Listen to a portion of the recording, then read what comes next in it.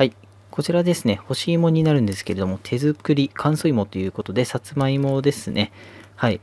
で、乾燥芋、石坂農園ということで、こちらはですね、群馬県のものになるんですけども、えー、見てわかるように、えー、結構ですね、たっぷりの容量 1kg ということになってます。はい。で、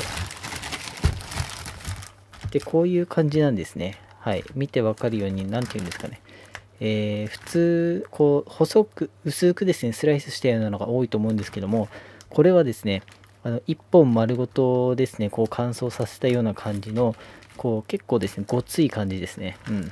なので、もしですね、これを焼いて食べるとなると、中のですね、すごくしっとりねっとりとした感じがですね、えー、味わえるさつまいもになっていて、表面だけですね、グリルで焼いて食べるとものすごく美味しいので、えー、中のですね、ねっとりとした感じ好きな方はですね、これおすすめですので、こういうタイプですね、ぜひチェックしてみてください。はい。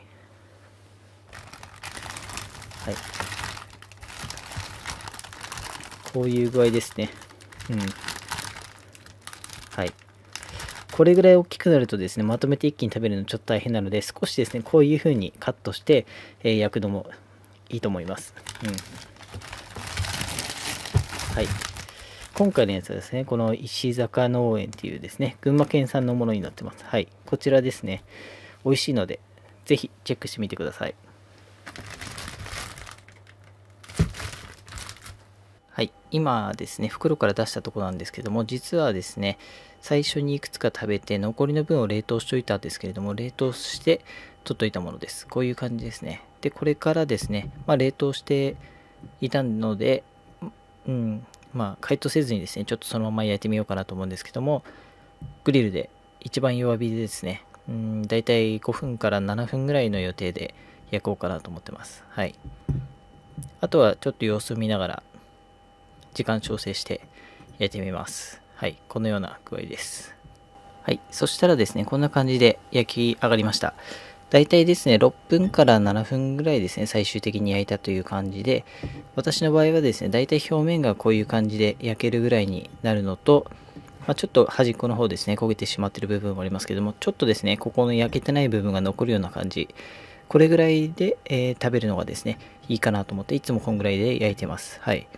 こっち側は焼いてるので香ばしい風味と、あとこっちはですね、さつまいものしっかりとしたですね、しっとりとした食感と、このねっとり滑らかな感じがですね味わえるのでこういう焼き具合がいいかなと思ってます。はい。でちょっと熱いのではい。こういう具合ですね。中がこういう感じでこの厚みがですねやっぱりしっかりとあるのでこの中身がですねすごくねっとりしっとりしていてですね美味しいです。で端のこの焼いた具合がですね香ばしくてすごく美味しいのでちょっとまず一口食べてみますうん。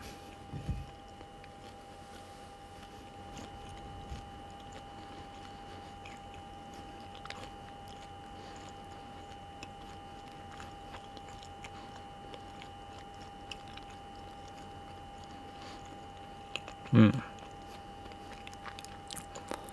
やっぱりですね、うん。風味が、さつまいもの風味がとても強いので、すごくですね、それがいいですね。うん。